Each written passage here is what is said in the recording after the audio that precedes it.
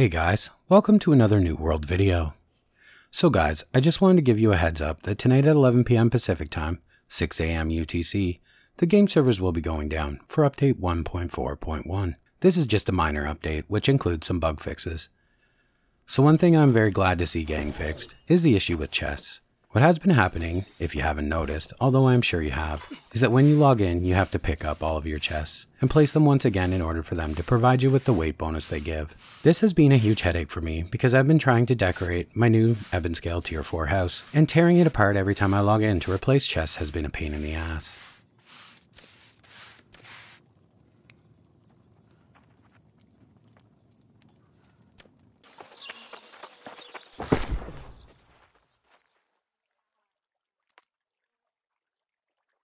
They have also fixed an issue that cropped up with the main story quest that was preventing the completion of Answer the Call. After the update, resaying the quest should now grant you the item needed to complete it. They made a couple of fixes to the Tempest Heart, most notably they fixed the big bad snake boss Nashatun, so that he no longer will go unresponsive during his encounter.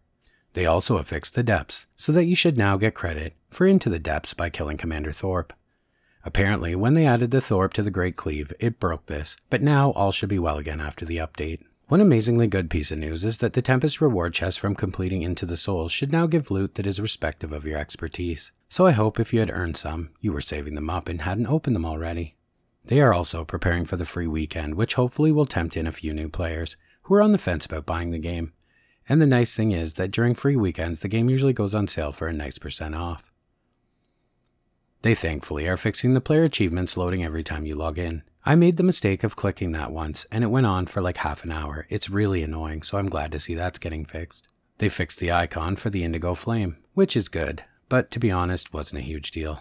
They fixed a few blunderbuss related items coming up under the musket on the trading post, making them difficult to find. So that's good for both sellers and buyers. So yeah, guys, nothing really massive, but great to see them getting the stuff fixed so quickly especially the Tempest loot crates and the housing chests. Those were the two things that were driving me nuts. So be ready to have everything you need to do done by 11 p.m. Pacific time. And as always, guys, thanks for watching, and I will see you in the next one.